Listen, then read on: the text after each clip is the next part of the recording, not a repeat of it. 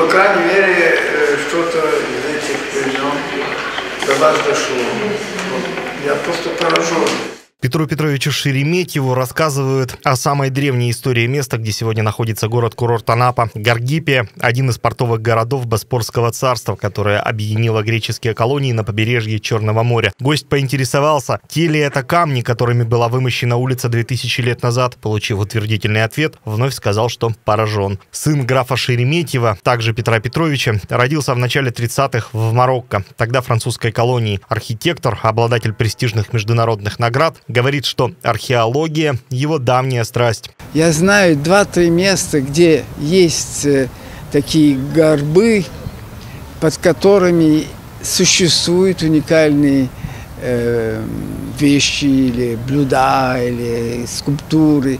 Я мечтаю туда вернуться, чтобы попасть на что-нибудь интересного. Почему? Потому что я, я просто возбужден темы археологической и так э, мечтаю э, что-то найти.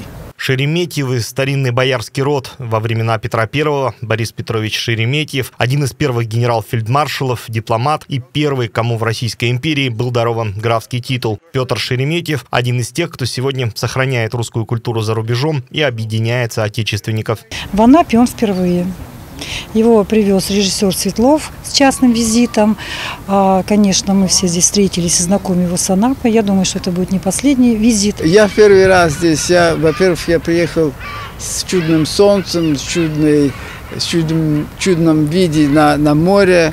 А я африканец, э, родился в Африке. И все, что относится к, к теплу и к морю, меня просто восхищает всегда. Я желаю Анапе много счастливых э, годах, развития и э, спокойствия.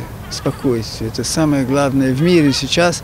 Нигде не спокойно. Поэтому дай Бог, чтобы здесь, по крайней мере, было спокойно. Петр Шереметьев – известный меценат. Он не исключил, что по итогам визита могут возникнуть совместные проекты.